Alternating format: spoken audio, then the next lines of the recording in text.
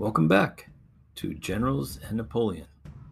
Episode 4 Marshal Serurier and Marshal Lefebvre, Duke of Danzig. Before we get into our stories, I'd like to let our audience know about our social media channels. On Twitter and Instagram, we can be found with the handle at and Napoleon. And on Facebook, we can be found at Generals and Napoleon. As always, we appreciate any follows, likes, or comments. Now, on to our stories. We begin with a marshal known as the Virgin of Italy. No, it's not what you think. Marshal Serurier received this moniker from his troops for his rigid discipline and his prevention of looting in conquered territories.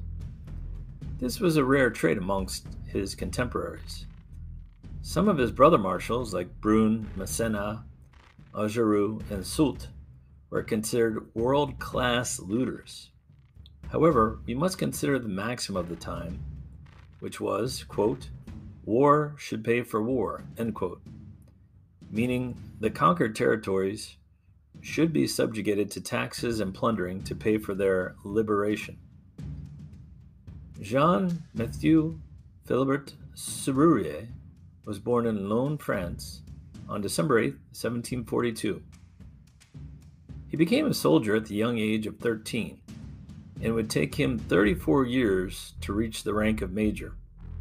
Such was the lot of soldiers in the Royal French Army before the Revolution and before Napoleon. He was described as a slow thinking man, reliable, honest, and courageous. He stubbornly adhered to drill book methods of leading his men. These methods were initially praised by Napoleon, who spoke favorably of his qualities during their first Italian campaign. His father was Mathieu Guillaume Serurier, who was employed as the royal mole catcher at the King of France's horse stables. Yes, that was a real job in the king's service. I did a little research, and apparently a single mole can make 30 molehills a day, which, multiplied a hundredfold, can make it entire estates pockmarked with mounds of dirt. In fact, in 1702, King William III of England died at the age of 52 after his horse allegedly tripped on a molehill. This job position was created by Louis XIV to protect the royal gardens at Versailles, and there's still a mole catcher employed to this very day. But back to our story. Because of their minor nobility, young Serurier was able to get a good education and received a commission as lieutenant in 1755. During the Seven Years' War, he saw combat many times and the dangers that come with it. He suffered a bayonet wound and later in 1760, at the Battle of Warburg, he took a bullet to the right side of his face, which broke his jaw and knocked out most of his teeth. The injury left a lasting scar, which gave him the appearance of an older, more experienced soldier. After the Seven Years' War ended in 1763, Serurier was demoted to Solon's lieutenant and spent six years as a drill instructor. These skills of honing raw troops were to serve him well in the future Italian campaigns of Napoleon. From 1770 to 1774, Serurier was stationed on the island of Napoleon's birth, Corsica, to help suppress an insurrection there. 1779 brought two significant accomplishments. He was finally promoted to captain, 24 years to get that promotion, and married his wife that same year.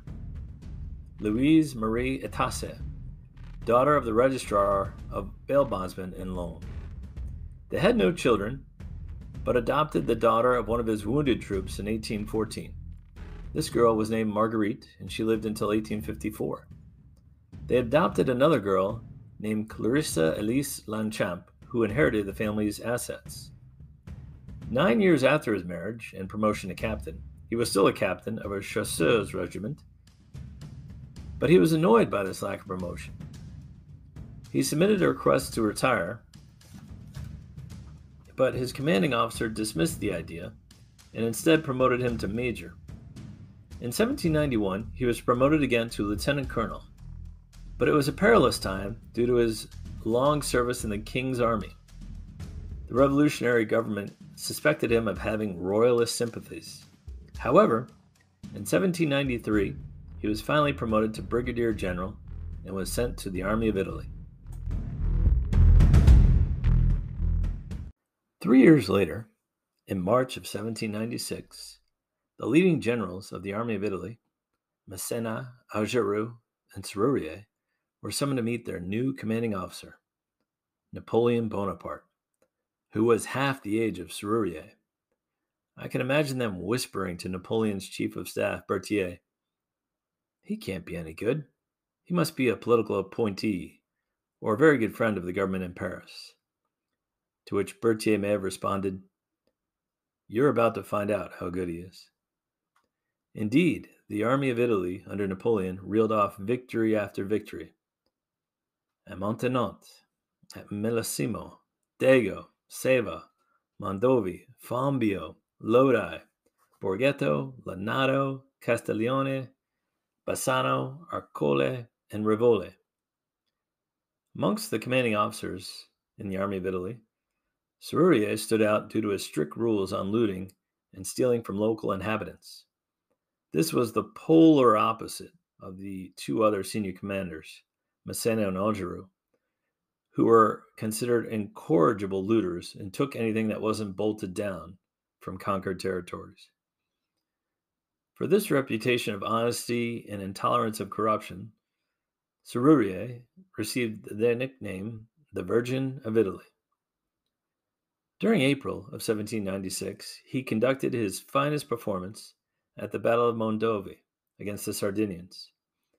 As Marshal Marmont recalled later, quote, Serurier formed his men into three columns, put himself at the head of the central one, threw out a cloud of skirmishers, and marched at the double, sword in hand, ten paces in front of his column, a fine spectacle, that of an old general, resolute and decided, whose vigor was revived by the presence of the enemy. I accompanied him in this attack, the success of which was complete. Following this French victory, the Sardinians sued for peace. This allowed Napoleon to focus on the armies of Austria in their main fortress of Mantua. When the Austrians were driven into Mantua, Napoleon entrusted Serurier with the siege. The Austrian army in the fortress numbered 14,000 troops. Serurier only had 10,000 to use on the siege. But his clever control of the marshes and bridges allowed the French to hem in the Austrians. Unfortunately, Serurier caught malaria in these marshes and was incapacitated for a while. The Austrians sent four different relief forces to rescue their troops at Mantua, but Napoleon crushed each one. Finally, after Napoleon's signature victory at Rivoli, the Austrians surrendered the fort in February of 1797. It was reported that 7,000 French troops died during the siege, the Austrians suffered over two times that number of casualties and lost 325 cannons to Napoleon. In June, Serurier was dispatched to Paris with 22 captured battle standards to display Napoleon's accomplishments to the government. Following peace with Austria, Serurier was not employed by Napoleon during the Egyptian conquest because he thought the general was too old for such a difficult campaign. Plus, he was still recovering from his bout with malaria during the Mantua siege. Following Napoleon's departure, the Austrians and Russians reclaimed Italy under the relentless Russian general Suvorov. Serurier and the French army lost battle after battle. At the Battle of Verdun, Serurier and his 7,000 troops fought a desperate engagement against an army three times their size and eventually had to surrender. He was released on parole around the same time Napoleon returned from Egypt. Due to the French army's defeats, the French government sank in popularity, and Serurier supported Napoleon's coup in 1799. Napoleon named him one of his four honorary marshals amongst the original 18 marshals in 1804. It was said no one had done less to deserve their marshal's baton at the time, except maybe Bessieres.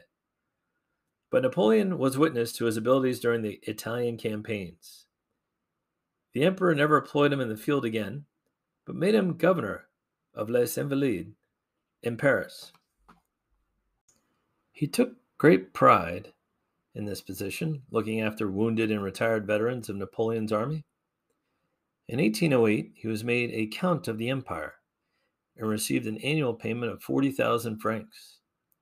In 1814, as the Allies neared Paris and looked unstoppable, Serurier took the 1,400 captured colors and standards of Napoleon's enemies and burned them, lest these trophies fall back into enemy hands. Just to put that number into perspective, in the 17 years since Serurier originally came to Paris with 22 battle standards, Napoleon and his general had amassed over 1,000 more during that time. Unfortunately, for posterity's sake, Serurier also burned the sash and sword of Frederick the Great, which were captured during Napoleon's conquest of Prussia. When King Louis XVIII returned to the throne, he made Serurier a peer of France, but he lost this position, his title as marshal, and his post at Les Invalides when he supported Napoleon's return to power.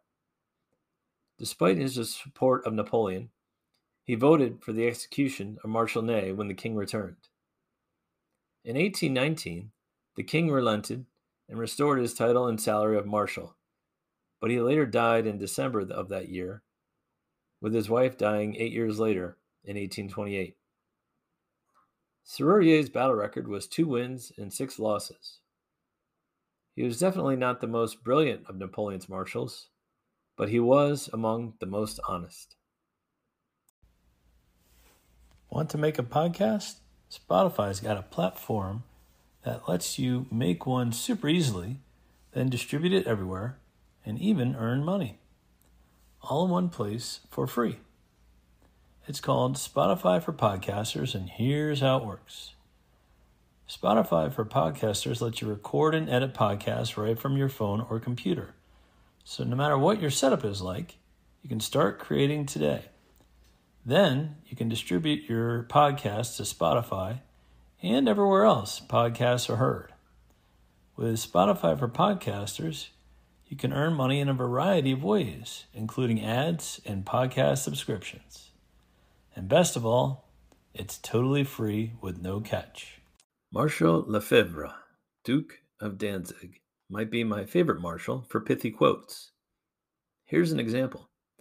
After the downfall of Napoleon, the marshal had accumulated a large amount of wealth and a huge estate. One of his friends was envious of all this, so the marshal replied, quote, Come down the courtyard, and I'll have ten shots at you with a musket from thirty paces away. If I miss, the whole estate is yours. His friend naturally declined this offer, and Lefebvre added, quote, I had a thousand bullets shot at me from much closer range before I got all this. Francois Joseph Lefebvre was born in October of 1755 in the region of Alsace, just like his fellow Marshal Kellerman. Lefebvre's father had been a hussar in the army, but had since become a miller. The good marshal was described as straightforward and kind hearted, with drill ground humor. He joined the army at the age of 18, and it was to take another 15 years before he would obtain the highest NCO rank of sergeant major. Some historians say his strategic abilities peaked at this rank even when he was made a marshal by Napoleon. He started out in the elite French guards in 1773, entrusted with the protection of the royal household. He was promoted to corporal five years later in 1778. Five years after that, he became married to his wife, Catherine Hubscher. The marshal's wife can be defined in one word sassy. Catherine was a salt of the earth, blunt type of person who was very loyal to Napoleon. She was also born in Alsace around 1753 and was of commoner origins. She worked as a laundress or washerwoman and was very proud of her humble background. She married the future marshal in 1783 when he was in the Royal Army. As her husband rose through the ranks, the marshal's wife became a member of Napoleon's imperial court. Her frank manners rubbed the elites the wrong way frequently, but she and the emperor seemed not to care. She was also generous to charities and treated her servants well. The marshal's wife attended lavish imperial balls, but seldom danced. She preferred telling scandalous stories, with the opening phrase of, quote, when I used to do the washing, end quote. She was also very protective of the emperor and did not tolerate turncoats, as Marshal Bernadotte found out after the fall of Paris in 1814. She called him a traitor to his face after he led a Swedish army against his former emperor and comrades. Marshal Lefebvre helped his wife's rough edges where he could by teaching her how to read and write. One sad part of their marriage was the loss of their children, with 12 of their 14 kids dying in infancy. Of their two surviving sons, one died as a teenager, and the other during the Russian campaign, having risen to brigadier general. Catherine passed in 1835, 15 years after the marshal's death. In 1788, he made sergeant major. Just when it seemed Lefebvre's career options had hit a ceiling, the French Revolution occurred. After the Prussian invasion and repulsed by the French citizen army, the good marshal sympathized with the revolutionaries. However, he did not forget his duty, twice wounded while protecting the royal family. In 1789, the French guards were disbanded by the government, and Lefebvre was made a lieutenant in the National Guard. This is significant because this promotion could never have happened in the old Royal Army, where officer positions were only available to aristocratic men. He became commander of a grenadier company where he gained the respect and admiration of his men through bravery and discipline. Because of the knowledge of his profession and support of the revolution, Lefebvre was promoted rapidly. Captain in 1792, Lieutenant Colonel in 1793, Brigadier General two months later, and finally General of Division in January 1794. Thus, it took him just five years to get from lieutenant to general, a third of the amount of time it took to get from private to sergeant major. On the battlefield, he aided his future brother Marshal, Jourdan, in the Battle of Fleurus against the Austrians. Although Jourdan was the commanding general in this fight, Lefebvre earned a lion's share of the victory when his division stood firm and launched a decisive counterattack. Lefebvre also had an up and coming Colonel Soult as his chief of staff to assist him with strategy. The future Marshal Soult later claimed he learned much during his time with Lefebvre. An interesting footnote of this battle is that it was the first time a balloon was used for aerial reconnaissance of enemy positions. It was also a desperate battle, costing both sides 5,000 casualties. Soult wrote that it was, quote, 15 hours of the most desperate fighting I ever saw in my life, end quote. After the battle, and against standing orders, the Honorable Lefebvre flat out refused to execute any captured French emigre soldiers taken during the battle. The Battle of Fleurus cost the Austrians control of Belgium and the Netherlands. By 1799, Lefebvre had been exhausted by continued battles in Germany and received a serious wound, taking a musket ball in the right arm. He retired to Paris to convalesce. During this time, Paris was full of revolutionary spirit yet again, as the Directory government was growing more unpopular by the day. Lefebvre was put in charge of the 17th Military District, which included Paris. Napoleon's return from Egypt only added more drama to this stage. The crafty Napoleon knew he had to sway Lefebvre to join his coup d'etat, since Lefebvre controlled the troops in the immediate vicinity of the capital. The story goes that Napoleon offered Lefebvre the sword he had carried during his tremendous victory in the Battle of the Pyramids. The old general quickly agreed to Napoleon's intended government overthrow by saying, quote, Yes, let us throw the lawyers into the river. End quote. Lefebvre stayed at Napoleon's side during the critical early stages of the coup and was probably happy that a soldier was in control of the government. Napoleon rewarded his loyalty in 1800 with a Senate seat and 35,000 francs annually.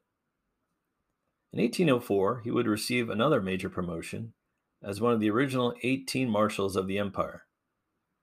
Like Kellerman, Perignon, and Serurier, he was considered an honorary marshal, too old for frontline duty, but rewarded for past services rendered. However, of those four, Lefebvre would be the only one to return to the front lines for more glory. After receiving his marshal's coat, a friend complimented him on it, to which Lefebvre replied, quote, It ought to look good. I've been stitching it for 35 years. End quote. Again, he never forgot the hard work it took to get to his lofty position.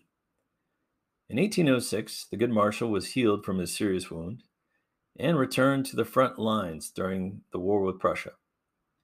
The emperor, knowing his strategic limitations, placed him in charge of the old guard infantry. These elite troops appreciated the strict disciplinary standards, and he led them into battle during Napoleon's victory at Jena. In 1807, Lefebvre was assigned a difficult task, one that would eventually make him a duke. As the Grande Armée advanced into Prussia, there was a major enemy fortress that needed to be subdued. The siege of Danzig began on March 19th and took a long, hard 51 days to accomplish. Many critics of the Marshal believe this should have been completed much earlier, but there are other factors to consider. First, Lefebvre was not trained in siege warfare. He himself was reluctant to take on this challenge. Napoleon stated, quote, Your glory is linked to the taking of Danzig. You must go there. End quote. He knew his other marshals were needed at the front lines and couldn't be distracted with this sideshow of 14,000 Prussian soldiers. But Danzig had a vast amount of stores, weapons, and rations that could be appropriated by Napoleon's army. Napoleon gave the good marshal several experts to serve under him. General Chasseloup, head of the engineers, and General d'Erlon, who would later become a marshal, as his chief of staff, along with 45,000 troops and 100 guns. But as we discussed earlier with Mantua, these sieges can go on for months or even years if fortresses have the ability to be reinforced. The Prussians were being resupplied by sea by the British and received manpower reinforcements from the Russians. As usual, Lefebvre was leading from the front, quoted as saying, Come on, soldiers, it's our turn today. End quote. And he barely rested during the siege, always in the trenches with his men and leading every possible charge. Finally, the corps of Marshal Mortier and Marshal Lannes showed up to provide backup, and the Prussian commander realized the futility of his situation and surrendered. The French suffered 6,000 casualties, and the Prussians 3,000, along with 1,500 Russians. As a reward for his service and as part of Napoleon's effort to create a new noble class, he dubbed him the Duke of Danzig. His next command came during Napoleon's personal intervention into Spain.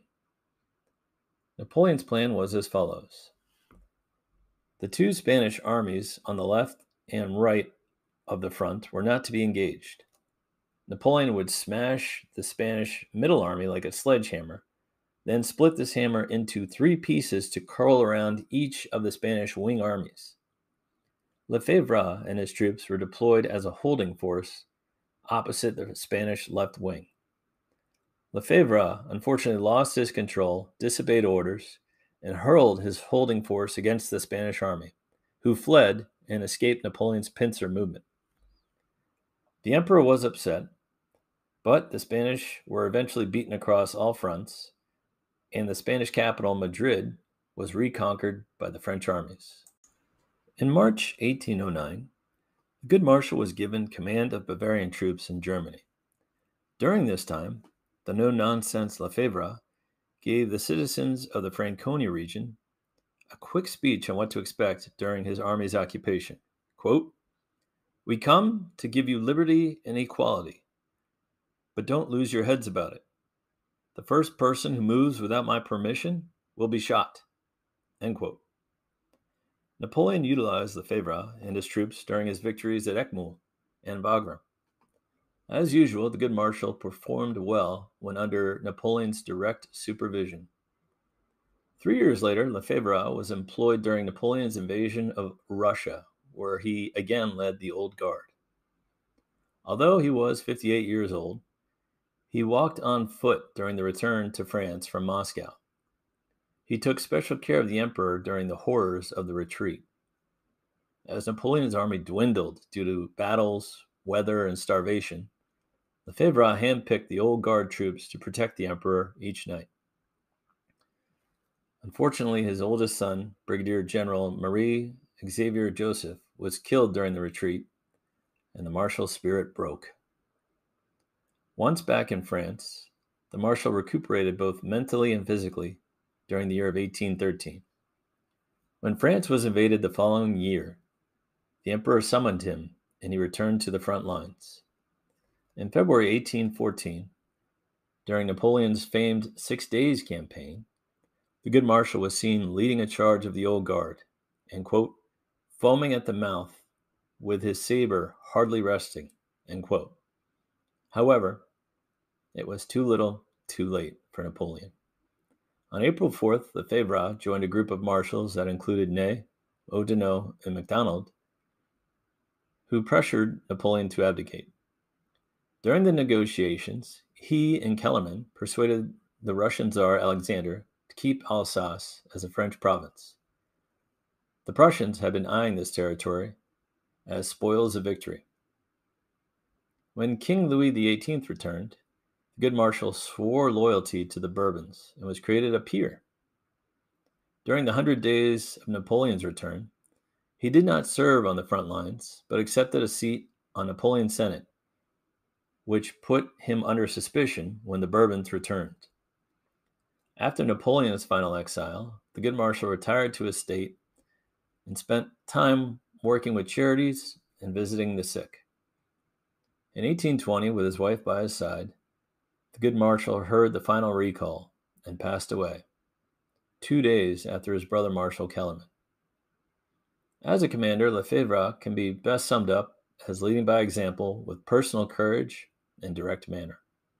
His battle record was eight wins and four losses. The good marshal didn't really participate in the court intrigue and personal rivalries amongst his fellow marshals. He knew his duty was to serve and serve well he did. Both marshals, Serurier and Lefebvre, were critical to Napoleon at different points in his career. Serurier during the early stages, and Lefebvre uh, during the middle and late stages. I think this is a good point to finish our episode. Thanks for listening. Please join us again next time when we learn about the indestructible Marshal Oudinot.